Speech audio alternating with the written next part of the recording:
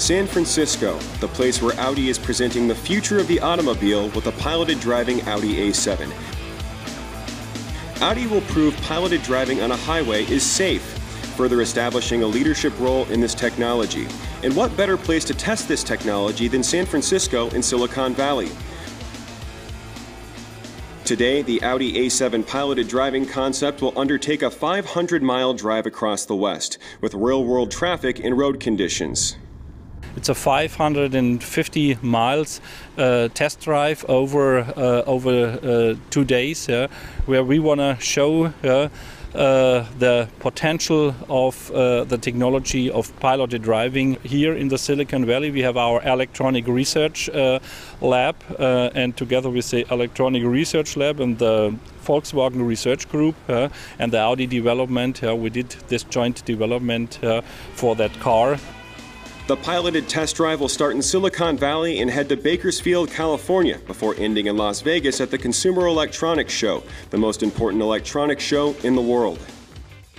It is for us the, the next generation um, connecting to what we've shown the last two years on the CES, which was the traffic jam pilot, from 0 to 35 miles an hour. Now we increase speed, so we're driving up to 70 miles an hour on the highway.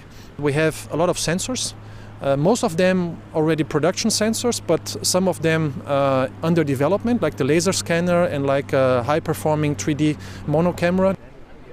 After a very successful drive of the RS7 piloted concept at the Hockenheimring in Germany in October, where the Audi rounded the track in just over two minutes without a driver, journalists from around the world now have a chance to test the technology.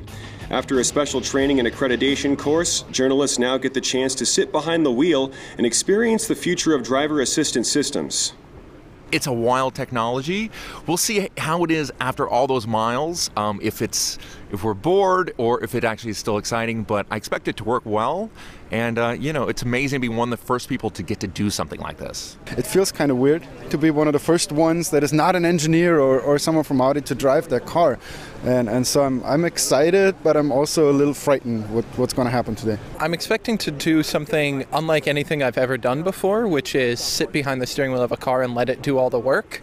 And I'm unclear if that's going to be really exciting or actually just super boring. The USA is very supportive of this technology. In 2013, Audi was the first car manufacturer to receive a license to test the technology on public roads in Nevada. In 2014, Florida and California granted their permissions. Then, high noon, 11:30 a.m. The Audi A7 piloted driving concept starts rolling. All sensors, for example, the laser scanner in the back and the 4-core processor with 8 billion operations a second, work perfectly. As soon as the car is on the highway and the system is activated by the driver, the Audi A7 concept accelerates, brakes, and initiates lane changes up to 70 miles per hour all by itself.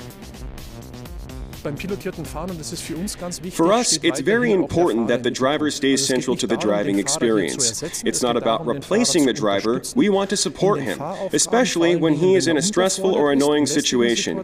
For example, during a 30 mile straightaway on a highway or while in a traffic jam. So, in a critical situation, the car can not only brake but also do a maneuver to avoid an accident. Those are the situations we want to support. By tonight, the car will reach Bakersfield. On Audi Media TV, you can find the latest impressions of the first day.